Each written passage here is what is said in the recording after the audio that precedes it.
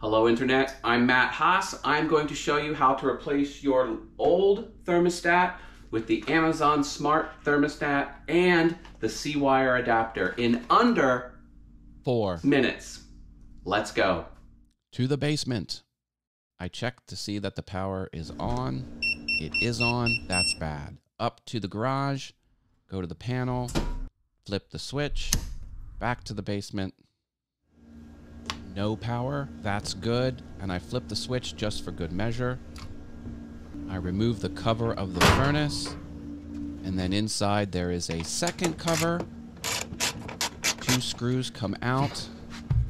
And underneath this cover is the circuit board, which I'll need in a later step. I test the circuit board to make sure there's no power. This is the third test. You can't be too safe when you're dealing with electricity. I'm back in the living room.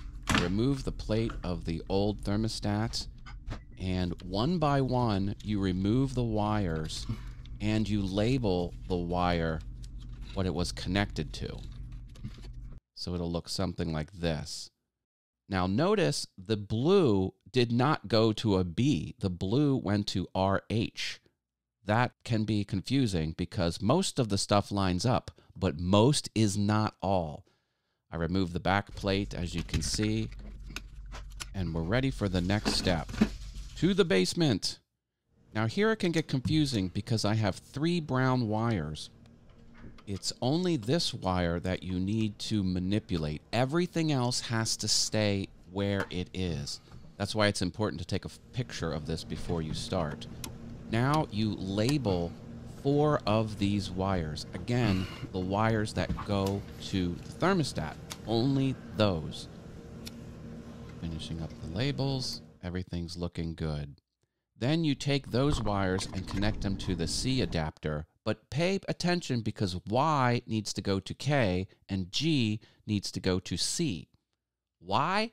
I don't know. I don't make the rules, but that's how you do it.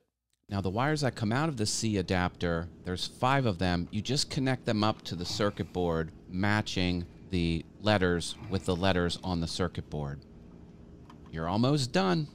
I put back the lower cover, reconnected that, put back the exterior cover to the living room.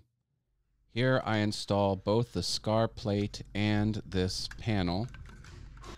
Thread everything through the center and drive a screw.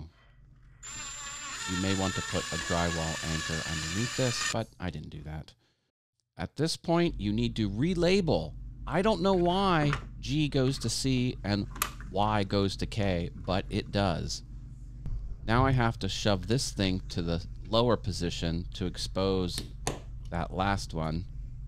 At this point, you just connect the wires to the correct slot. Everything will be labeled properly now. You push down these outer pins and you shove them in the slots on the inside.